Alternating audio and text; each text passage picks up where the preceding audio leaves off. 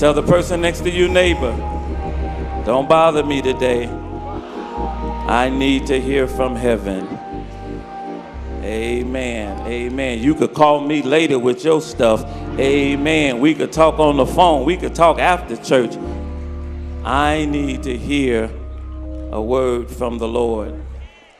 James chapter 1. James chapter 1. What a good name. James chapter 1. Four verses. The book of James. James chapter 1. You there? All right, if you need me to wait, say, wait a minute. Or if you need to look up on the board, say, let me look up on the board. Put the scripture.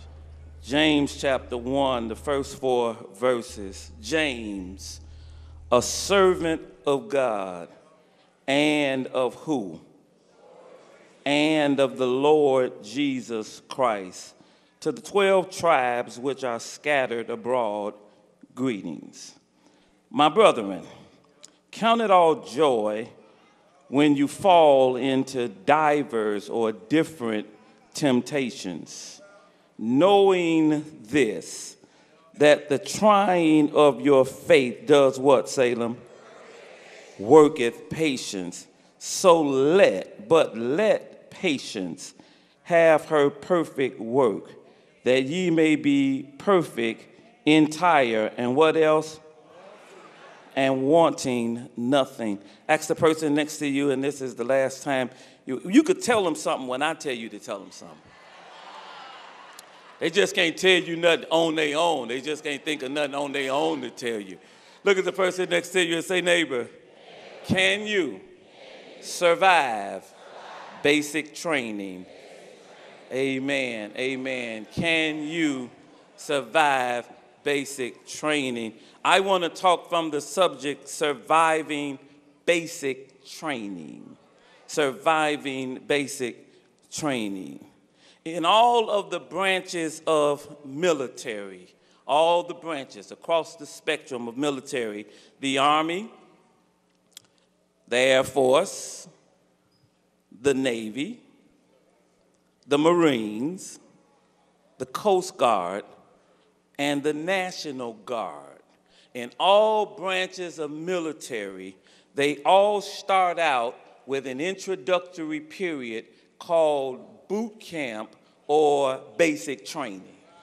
I want to salute everybody who's ever been in the service. Stand if you've been in any branch of the service. Everybody that's been in the branch of the service. Hallelujah. Amen. All right. Well, then that means at least I ought to have a few amen at the beginning. Amen. You don't just enlist and become a soldier the next day. That, that's not how it works. You don't just sign up and say, I want to be a soldier, and then they give you a uniform, and then they say, okay, now today you're a soldier. Am I right about it, military people? Everybody and I mean everybody, must go through a at least a 16 week period called basic training. I wonder if I have a real church. In basic training, you are not just free to roam about the country while you're in the basic training, you cannot do what you want to do when you want to do it. Do, do I have any help from the people who just stood? In basic training, somebody got a quickening, amen. Somebody had a Vietnam flashback. We got to check that person for weapons over there. Them 'Nam people be having Agent Orange and stuff like that. In basic training, every move is carefully scrutinized by a drill sergeant. You are told, and listen, Salem, basic training is some tough stuff. Amen. Now, I'm not going on personal experience. And you'll get a chance to see some of it on the board. But basic training is tough stuff. I wonder if I have a witness from anybody who know. Basic training is tough stuff. You are told when to get up out of the bed. You are told when to go to sleep.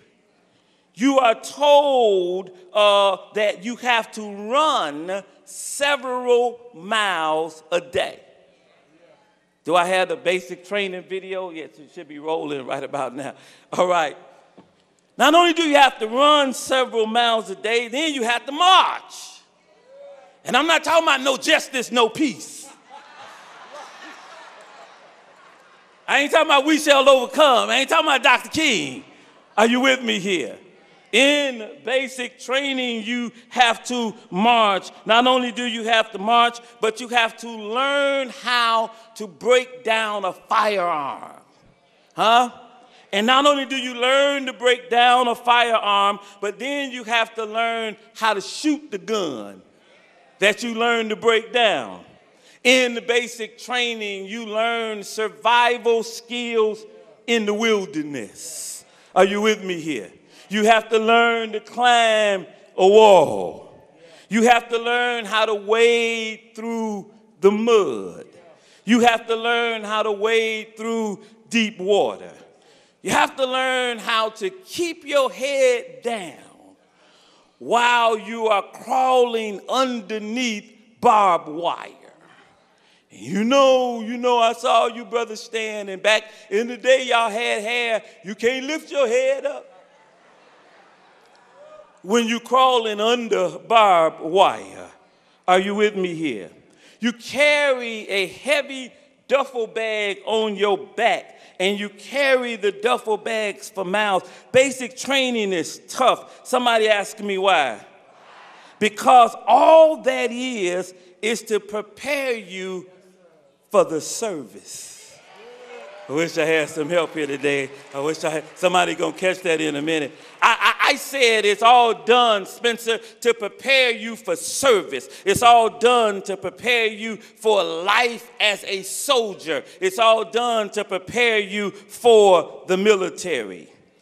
Basic training is not designed to break you. Basic training is designed to make you. Did you hear what I said? It is not designed to tear you down. It's designed to build you up. Basic training is not designed to break you. It's designed to make you a soldier. Look at somebody and say, hello, soldier.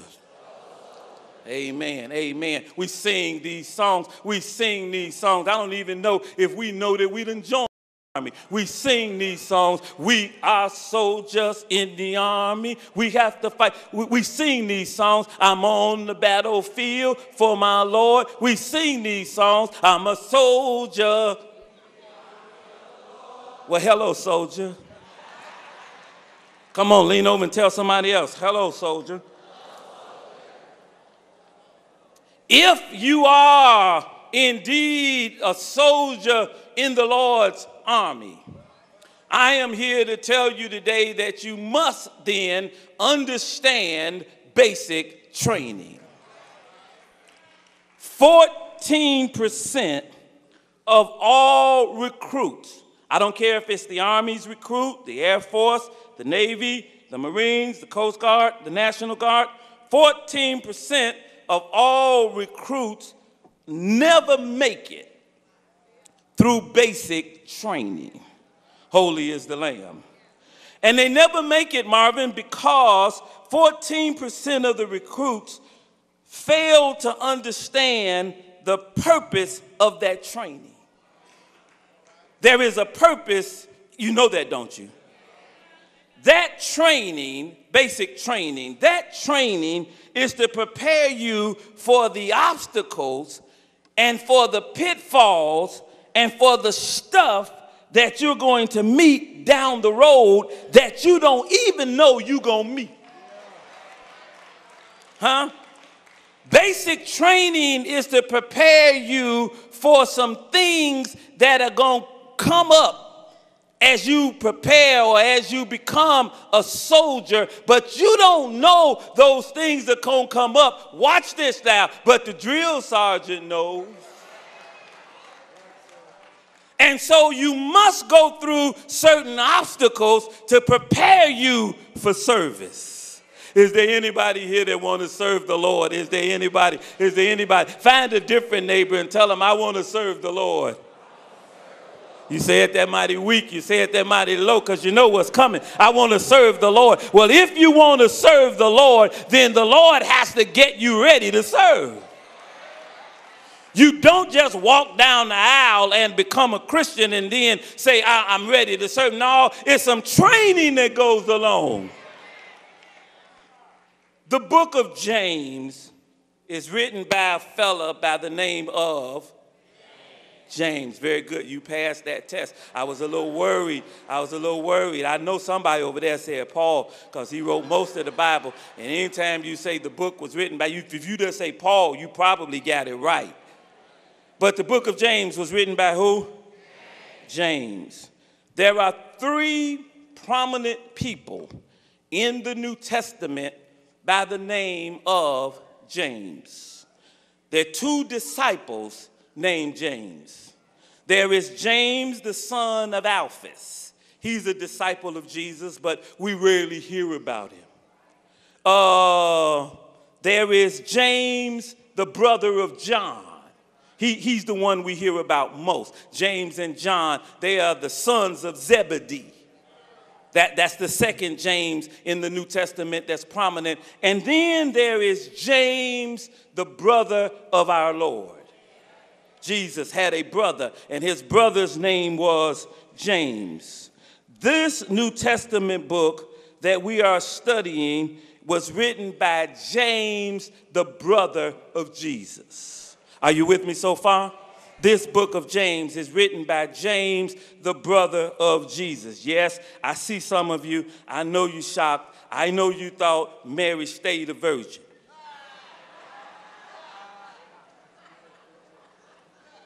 I know you, I know you thought that. I know that there are some people, even today, who pray this prayer Holy Mary, uh, of her Holy Virgin Mary, Mother of Jesus, pray for me. You could pray that. You could say, Holy Mary, uh, pray for me, but you can't say virgin. Mary ain't no virgin no more. Are you with me here?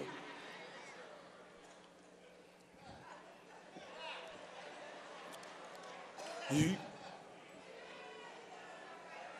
This James is James, the brother of our Lord. Holy is the Lamb.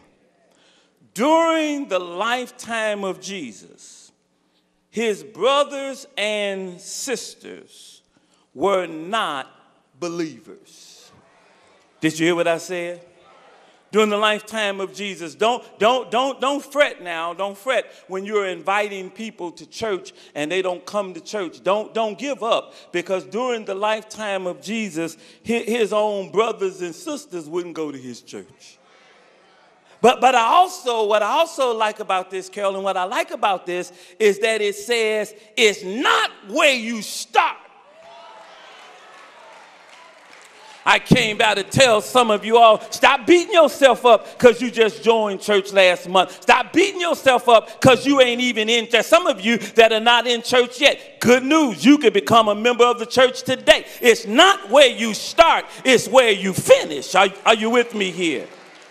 James was not on the road. James was not with Jesus at the beginning, but James is going to be there at the end uh, it's not until after the resurrection of Jesus from the dead that James becomes a follower of his brother.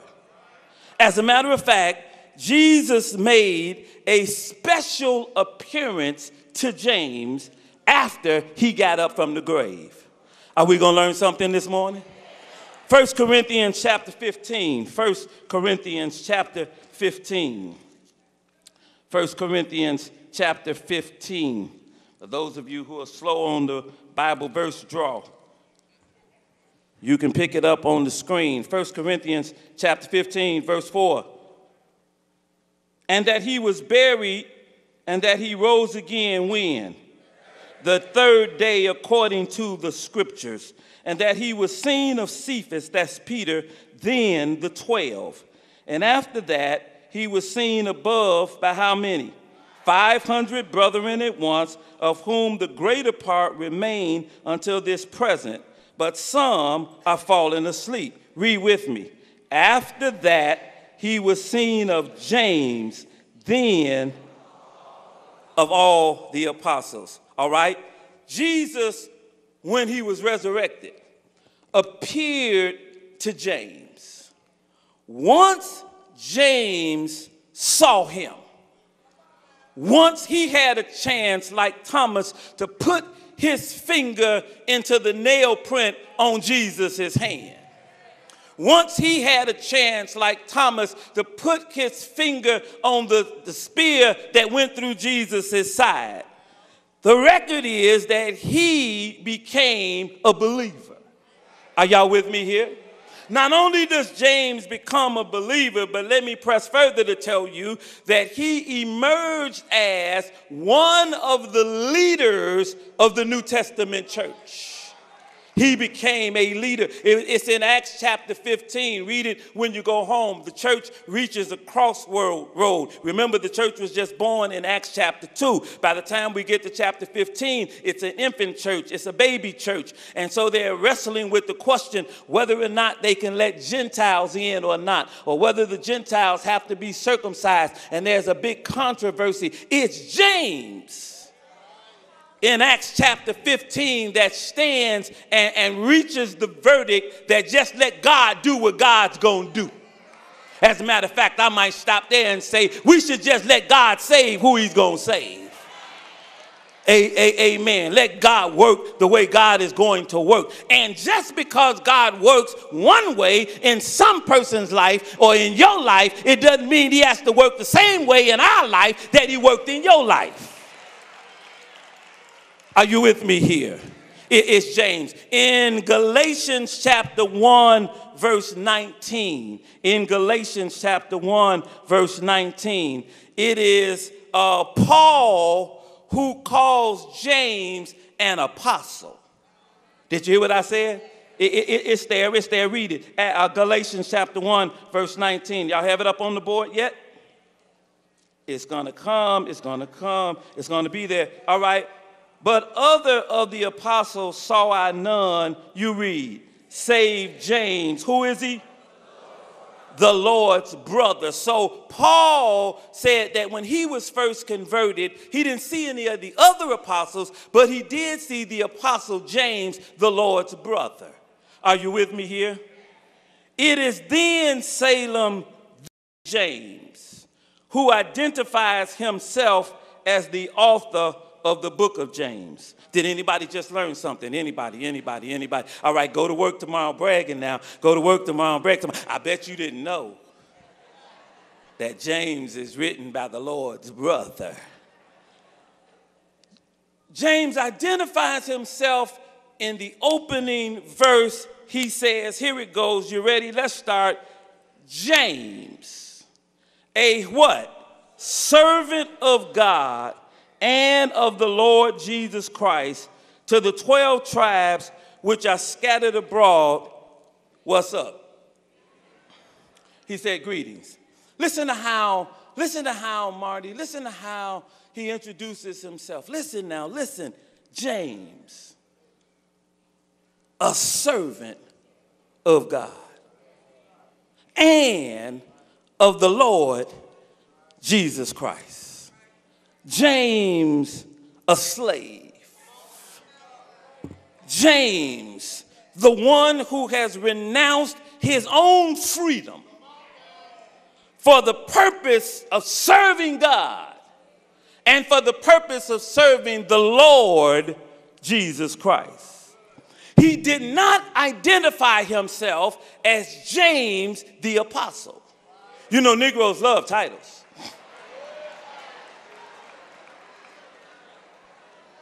You know that, don't you? You- know that, don't you? And there's some people that if you get that title wrong, the right Reverend, Bishop, Apostle, Doctor, uh, Your Holiness, Archbishop, uh, I can't keep up. I can't keep up. I just say, look, your mama calls you. Your, your mama, your mama named you uh, George. I'm gonna call you George. Your mama called you George. I'm gonna call you George. People get mad. He, he, he did not he did not identify himself as an apostle. He did not say uh, James, the leader of the church. He, he is the leader. He was the leader of the church. He did not identify himself as James, the leader of the church. And and and he do like we would have done. I would have done it. You would have done it. Uh, we might as well fess up. He didn't play. I hate to say this word. Ooh, I, oh, I hate to say this word. He did not play his trump card.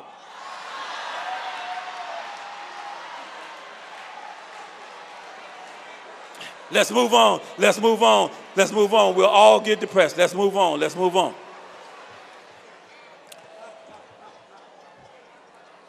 His trump card is he the brother Jesus.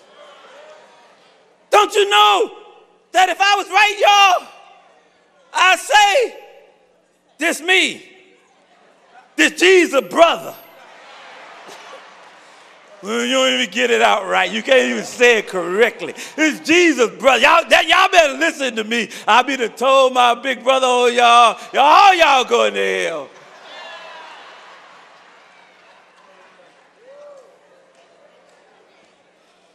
He said, This is James.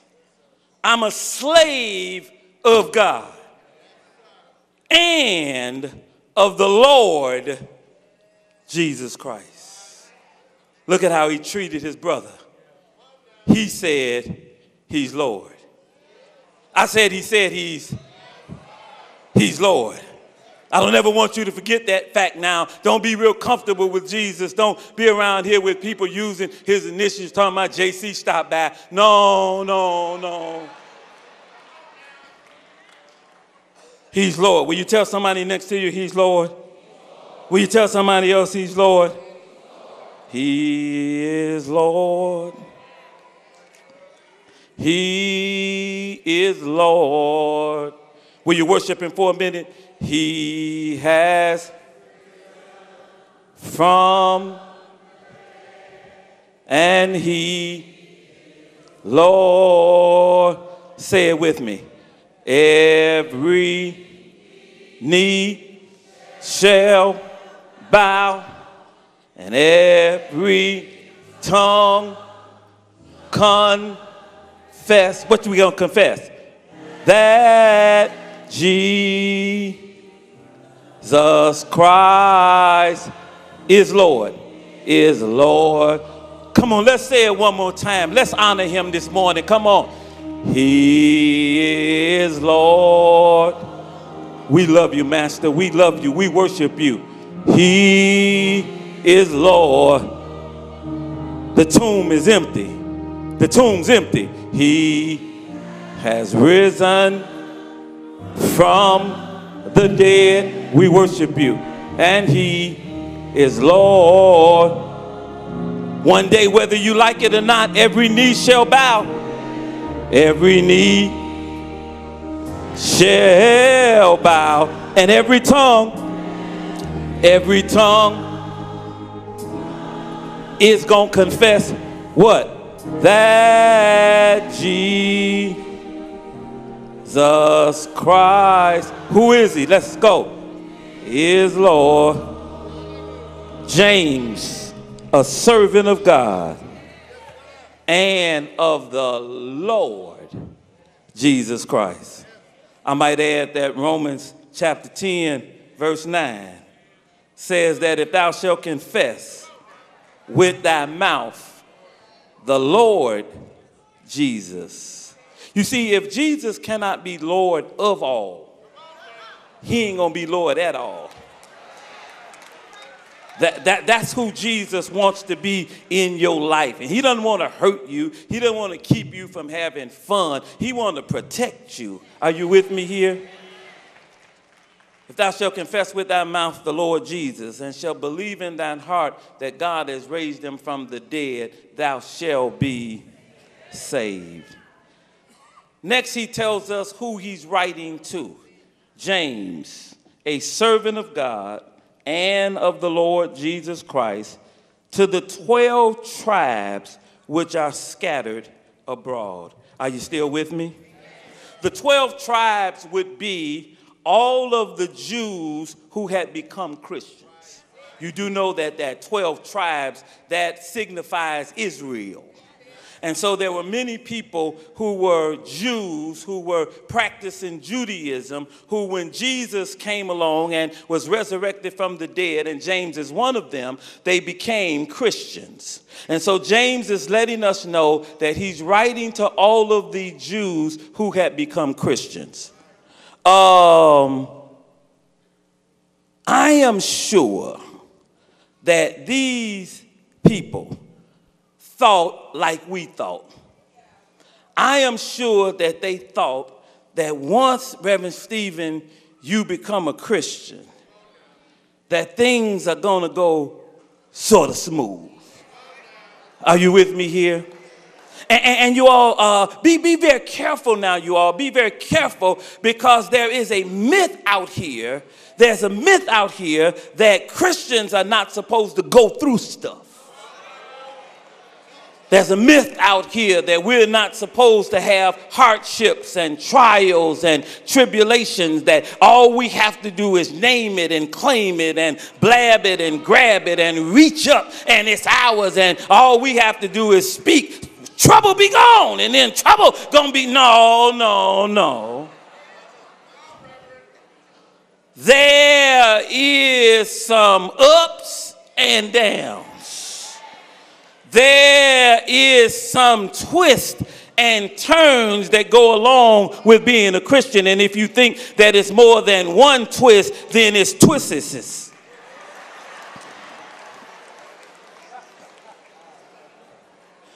When these believing Jews became believers, all hell broke loose.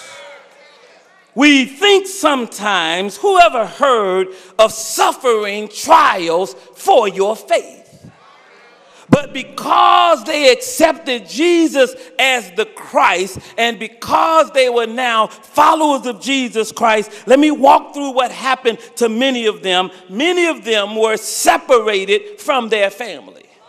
Family said, that's it. If you're going to believe in that, if you're going to believe in that heresy, then you're not a part of our family. I, started to say, I started to say, can you imagine if you just get cut off from your family? But half of us would be having a party. All right, they ain't gonna call me no more. They ain't gonna call me no more. Hey, hey. Y'all really mean it? Y'all really mean it? Y'all really mean it? Not only that, but it's not a laughing matter when we discover that they were cut out of the family's will. And whatever fortunes the family had amassed, they were no longer a part of that fortune. Those who had jobs lost their jobs. Those who were engaged had to break off their engagements. Those who were married had to make a decision Jesus or wife and children. Uh, those who were lifelong friends, friends of 30 and 40 years, had to renounce their friendships those who were free, many of them were bound and thrown in jail. These new Christians, these new believers, Salem, they were suffering the worst hardship that you or I could ever imagine. When all of a sudden they get some good news, let me hear you say good news.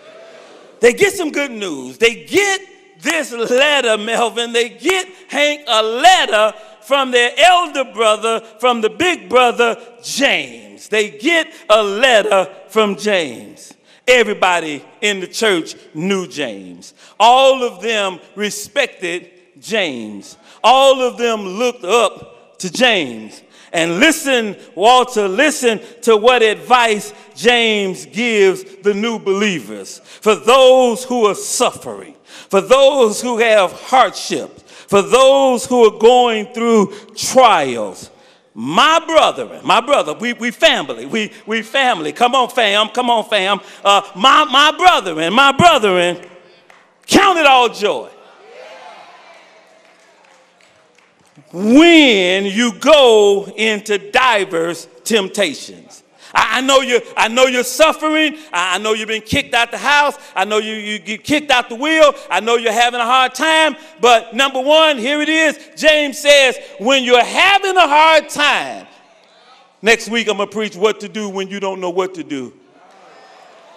But let me stay on my script today. James says, when you're having a hard time, is there anybody here who might be a candidate for this sermon? When, when, when your back is against the wall, when you don't know what to do, when your friends are few, when you're going through stuff and you know it's not your fault, when you're going through something and you can't explain and can't even imagine how you got into the situation, James says, learn how to count. Turn to the person next to you and say, neighbor, you got to learn to count. I know you're going through. I know you got some ups and downs. I know you got some challenges. I know your heart is heavy. I know you barely made it into this room today, but I came by to tell you learn how to count. Watch this. Do you know that the last thing I want to hear when I'm going through something the last thing I want to hear when my back is against the wall.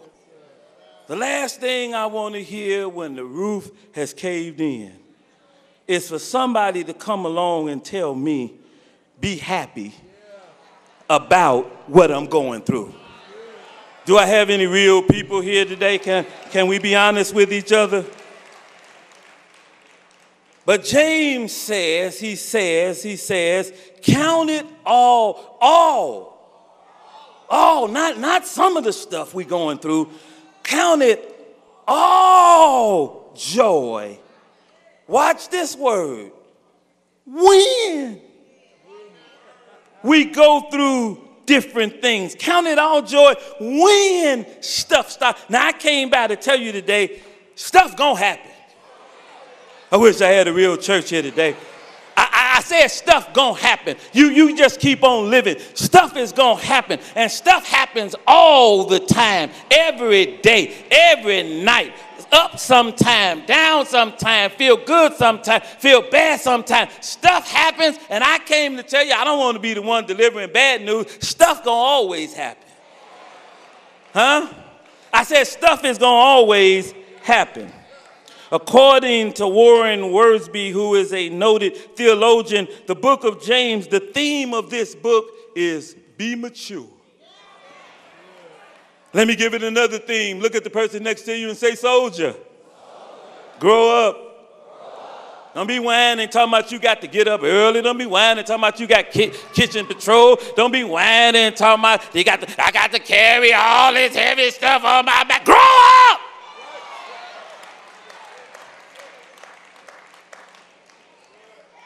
James is trying, and I know, I know you all, I know, I hate hardships. I hate going through something. I hate, is there anybody here with me? I hate pain. I hate suffering. If I could design a life for myself, I would design a life for myself that never included any pain. But I came by to remind you of the old proverbs that the Arabs had. It says, All sunshine makes a desert. In other words, you got to have some rain in your life. Let me go on. Let me go on. Learn how to count. James is trying to help Christians look at stuff. He's trying to help us embrace our suffering as we see it from another perspective. Huh? Learn to count. Be joyful, he says. Be all right. Be content when stuff happens. Be all right. Be all right. As a believer, when trials come, we know what trials are. Come on now. You come home and your 14 year old daughter stomach is sticking out.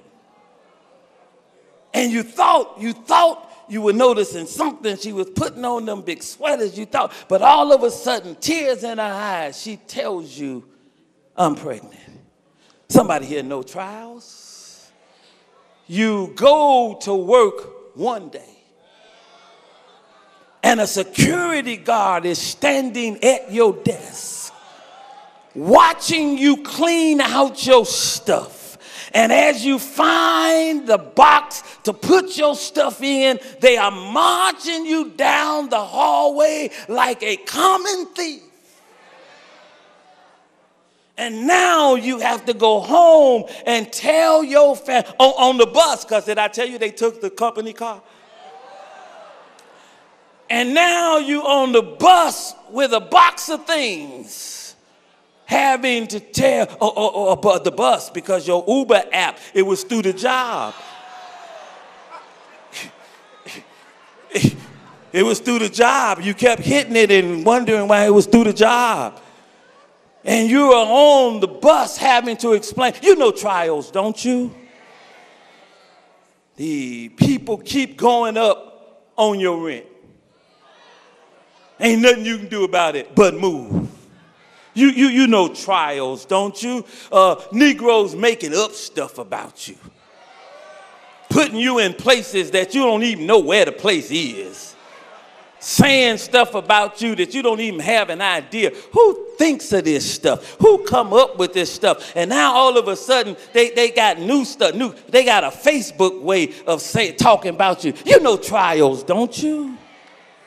There's trouble in your family. You, you know trials, don't you? Not having enough money for nothing, ever. You know trials, you know trials, sickness in your body. Hair that used to be black can't even be dad black.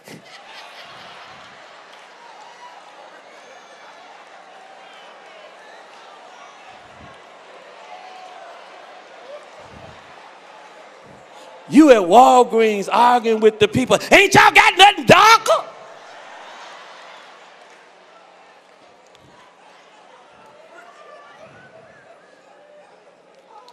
You know, you know, you know trials. One word, trials. One word, one one on this one word means trials in your life. Relationship. That that that whole word mean try. The whole thing mean drama. The whole thing mean. You know, you know trials, don't you? Reverend Thurston says, anybody in the congregation lose a loved one this week? And you have to stand with tears in your eyes because you're burying another relative you know trials. And all that's bad. And, and, and, and, I really wish, I wish to God, I wish I could stop right there. And, tell you that when Paul says counting, I mean, when James says, I told you, Paul, I just, Paul, my go to guy, when uh, when James says, Count it all joy, I wish I could tell you that that's all that trials mean, but it ain't. Because he's not only talking about trials that we go through without, he's also talking about the trials that we go through within. You, you, you know trials within temptation He's talking about that too. He's talking, you, you know, temptation. You know, temptation. Stuff that you want to look at and, and, know you ain't got no business looking at it. You know, t- temptation. Stuff that you want to touch. Ain't got, you, you know, temptation. People that you want to touch you.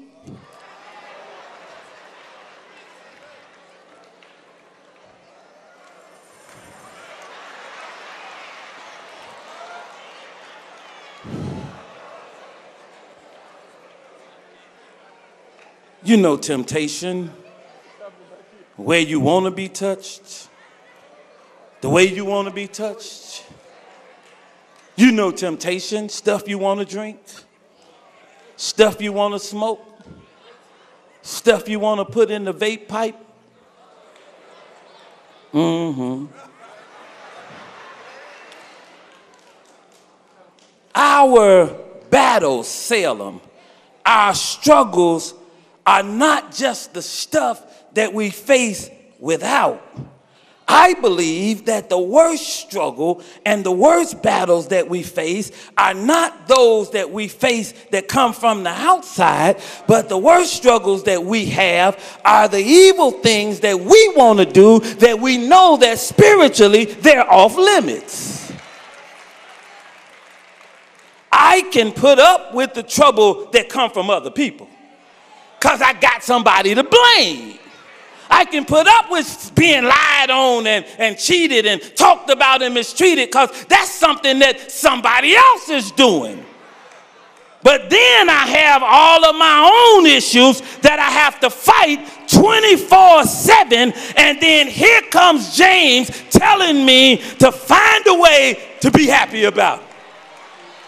James, are you nuts with all of this temptation I'm dealing with, with all of this stuff that I want to do that I ain't got no business doing, and you telling me count it all joy? Count it all joy. I need a drink.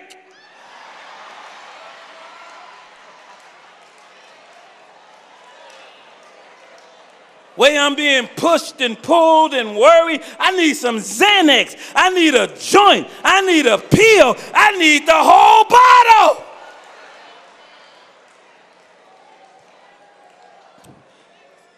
Do I have a few more minutes? I ain't, I ain't been here in a while. I saved up some time. The Bears don't play till tonight. They don't play till tonight. Give me, give me 15 more minutes. Do I have it? The only way, watch this now, let's move on. The only way we can count it joy, because that, that sounds crazy. And I'm telling you now, that sounds crazy. I'm going through pain, I'm going through tribulation, and James is telling me to count it joy. That, that sounds crazy, but the only way that can work is, is when you know something. Ask the person next to you, what do you know? What do you know? What do you know? The only way we can count in verse 2, James says, is based on what we know in verse 3. I wish I had a real church. Can I say it again? The only way you can count in verse 2 is based on what you know in verse 3. So let's go to verse 3. I'm only doing four verses, so you know it can't be long. Verse 3, you ready to start with me? What's the first two words? Knowing this that the trying of your faith does what? Worketh patience. Knowing this. You got to know something. If you're going to get through the stuff that keeps popping up from out of nowhere. You got to know something if you're going to deal with constant drama because if you don't know it, you'll think that Jesus doesn't love you. If you don't know it, you'll think that it's your sins that's coming up and causing this. You got to know something. It is what we know, James says, about trials that help us see our trials in a different light all right, all right, I have to know that while I'm in basic training, that this same wall I see in basic training, that I might see it one day in Iraq. Come on now. They, they, they, they ain't just pushing me to get over that wall in a hurry. Talking about you got uh, 4.8 seconds, get over that wall. Uh, that, that 4.8 second wall maneuver in basic training might come up in North Korea. Some fool get us in a war.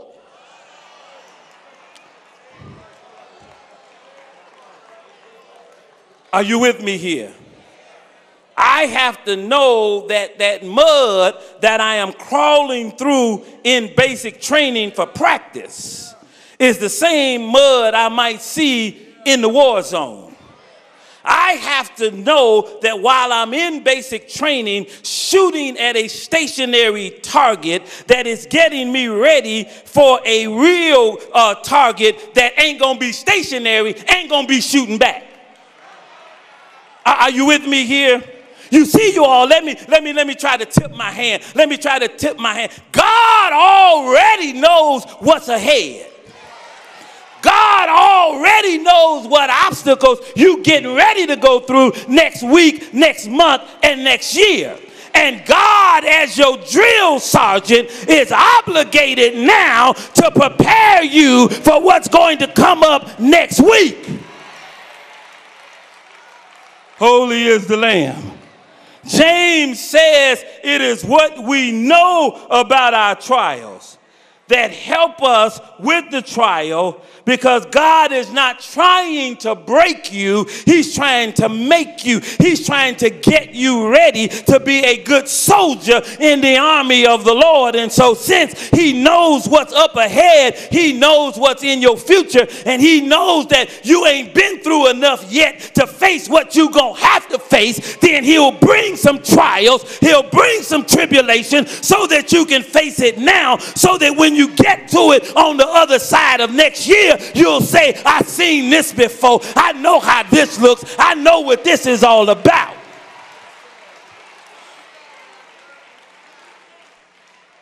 He says, he says, he says, look here now, you got to know that it's the trying of your faith that worketh patience. The trying of your what? Faith. God's sole purpose, listen to this now. I'll let you, I'll let you go. God's sole purpose is not your happiness. God's sole purpose is not whether you got a new car or not, whether your weave match the rest of your hair.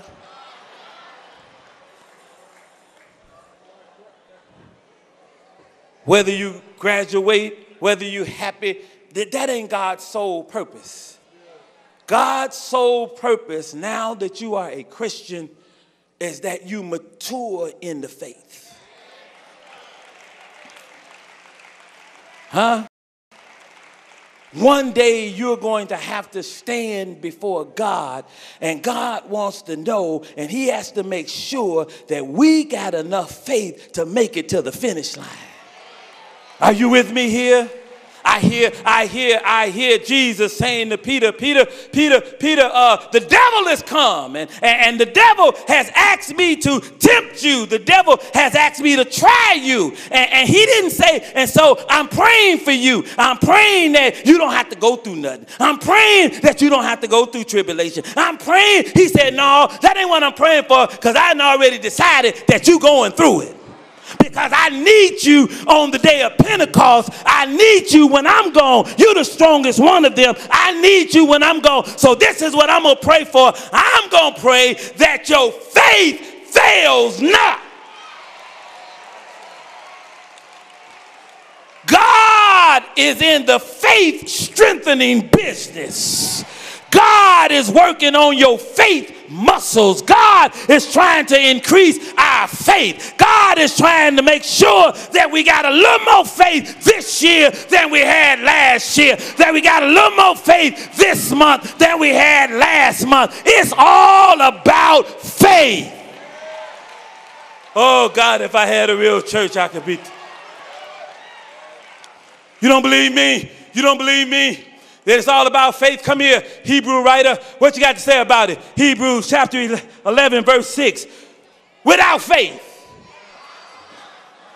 it is impossible to please. How many of you want to please him? Is there anybody here that want to please him? Is there anybody here that want to please him? Well, I want to please him. Well, Meeks, if you want to please me, then you got to have faith. And I can't leave you with the same amount of faith that you had last year. So come here, trouble. Come here, obstacle. Come here, pain. Come here, sickness. I need you to pay a visit so I can make sure that this boy's faith fails not. Why I got to go through all this? Why I got to have it? Because God loves you. And God wants to mature you. And without faith, it's impossible to please Him. So He's giving you a little more faith. Oh, God. Whatsoever is not of faith is sin. Now, listen, Salem. I hate tribulation. I hate pain. I hate agony. And God knows I hate temptation.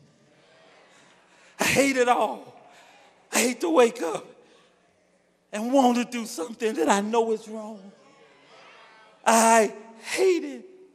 But I came to tell somebody to know this morning that a faith that cannot be tested is a faith that you can't trust.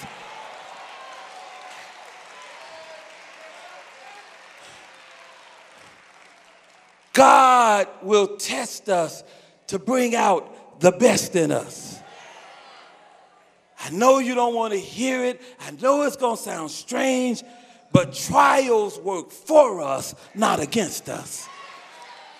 Did you hear what I said? I'm going to give you Bible in a minute. I said trials work for us. Let me hear you say trials work for us. You want some Bible to back it up? For we know that all things, all things got to include all things. The pain you're going through, the stuff you're going through, the difficulty in your life, all things are working.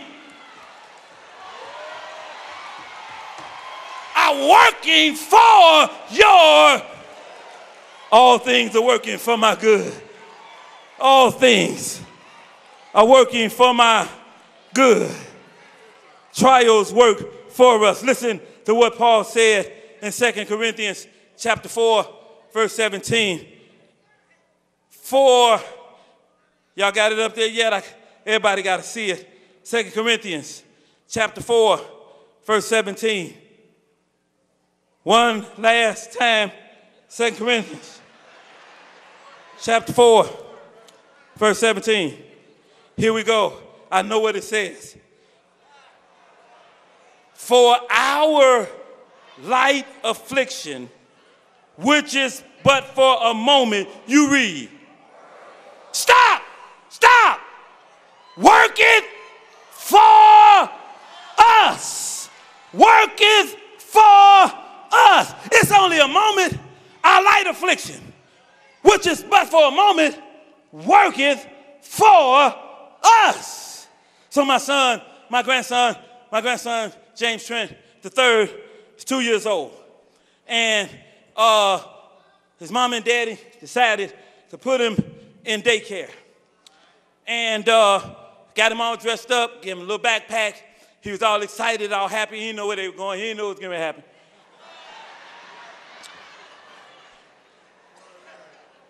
I guess he thought me, mama, and daddy going to school. They're going to sit there in school with me. They're going to stay there all day. We're going to have a good time. Got into the school, he all happy. Wave goodbye, he freaked out. You know the drill, right? You know the drill. You've seen this before. Freaked out. And then he, he, he's grabbing on his mama, won't let her go. They peel, peel the boy off his mama, peel the boy off his daddy, peel the boy off. Teacher say, go on. Now here this two-year-old is in a place with strangers not understanding what just happened. All he knows is the people that I've been with all my life just dropped me off with these strangers. And I have no clue of why they left me with these strangers. Now he's thinking that for the rest of his life, it's gonna be him and them strangers. And that his mama and daddy are gone forever. The kid agonizes all day until two o'clock. Two o'clock, here comes mama, here comes daddy, kid still crying. Asked the teacher what happened. The teacher said he just stood there just cried. Just looked out the window. He just cried. He just agonized. He's happy. They take him back home. He says, all right, this, the kid says this drama is over. Next day,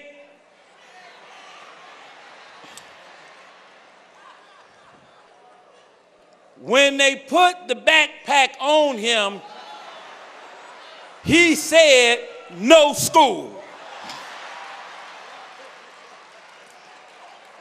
When they rode up to the building, no school, no school. They go back through the drill, the same drill happens again.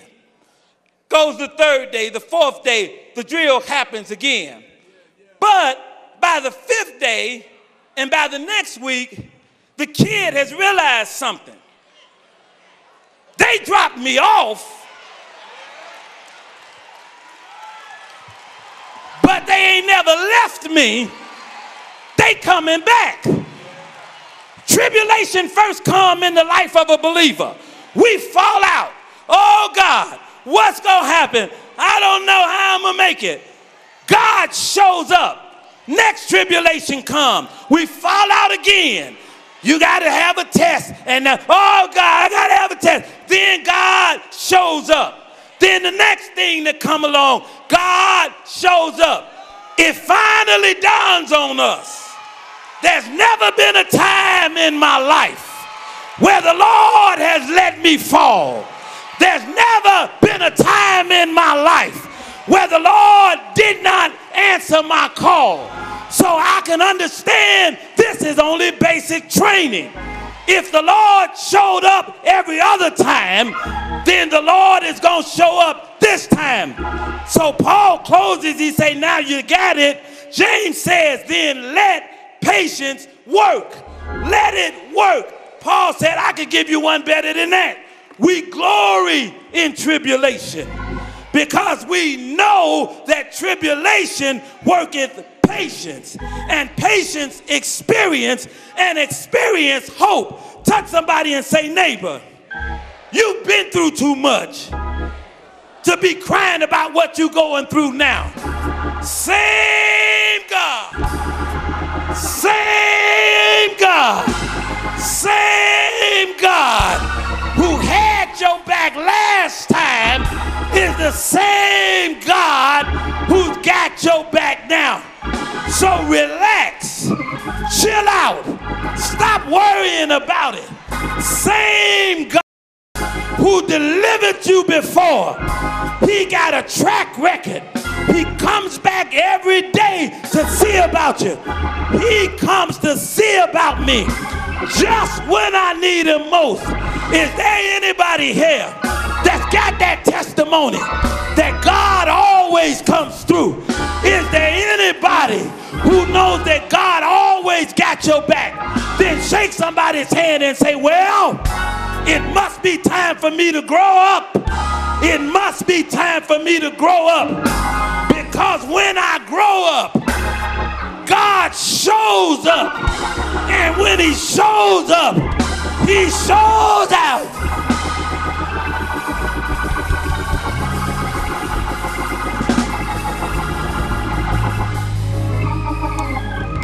That's enough. God ain't mad at you. God ain't mad at you. God's not trying to hurt you. God ain't trying to break you. This is just basic training. God knows that you're going to see some stuff next week. He got to get you ready this week. And when you look into the eyes of that next demon that you're going to have to face, you're able to say, No, demon, get back. I done seen demons, I done seen bigger demons than you before.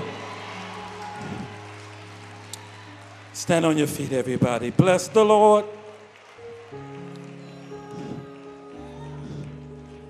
Oh, my soul, everybody, and all that is within me.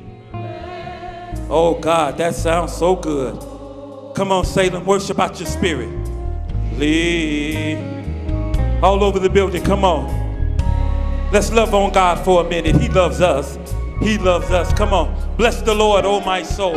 Say it from your spirit. Oh, oh, oh,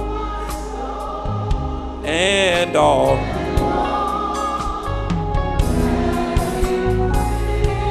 Within me, we worship you, Master. We worship you. Please. Let's give him some props for all the things that he has done. Let's give him some props for it. He has done great things. Yes, you have, Lord. You deserve praise. You deserve thanksgiving. He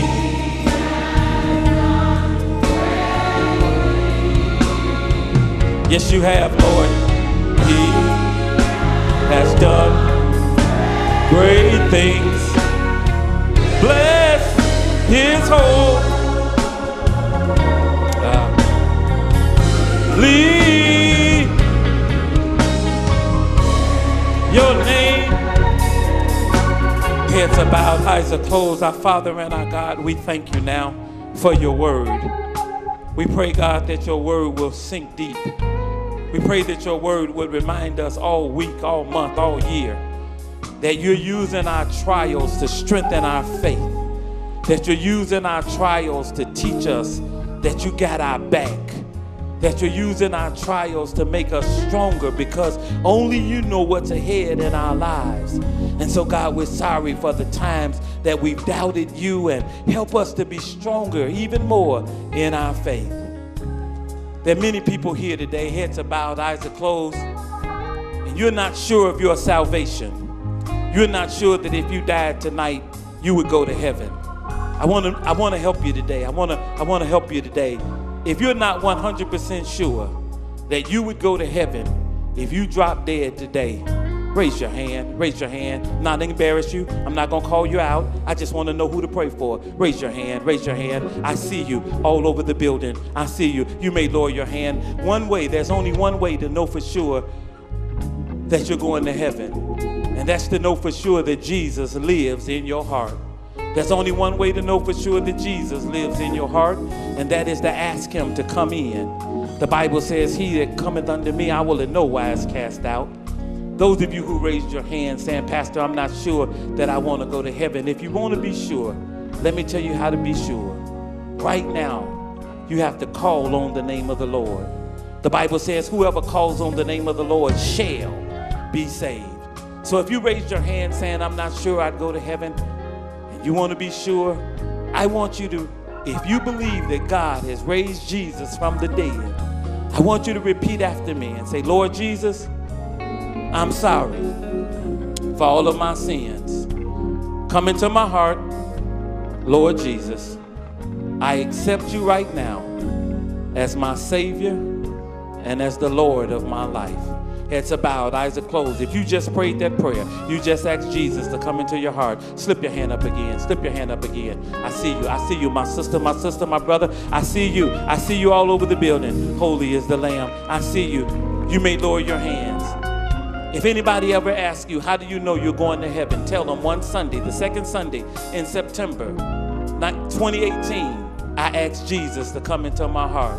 Whoever calls on his name shall be saved one more bit of business. If you're here and you're not a member of a church, maybe you used to go, maybe you stopped going for some reason or another. Maybe you stopped going to church because people in church ain't no good, and that's true. Ain't none of us no good. But there's a God who is real good. And that's the only reason we come. We don't come for each other. We come because God is good and He's faithful. If you are not a member of a church, if you don't have a church that you could call home, will you raise your hand? Will you raise your hand? Come on, be honest. Nobody's looking but me. I see you. I see you all over the building. You may lower your hands. I want to pray for you, but I want you to pray for yourself. I want you to say, God, I need a church. I need a church where I could go. I need a church where I could grow. I need a church where I can understand when they open up the Bible. I need a church where I could be served uh, in your service. God, we love you and we praise you and we lift you up. Again, we thank you for worship today and we thank you for your preached word. And we know that faith cometh by hearing. I pray now for all of the people who are not members of a church. I thank you, Holy Spirit of God, for what you're getting ready to do in their lives. Do only what you can now. We've done our best. In Jesus' name, amen. Look this way.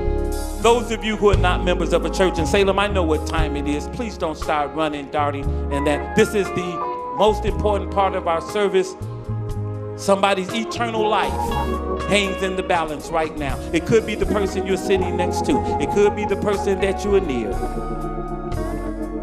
I'm going to count to three. And when I count to three, the members of the church are getting ready to sit down and pray and keep singing this song. Those of you who are not members of a church, we love you.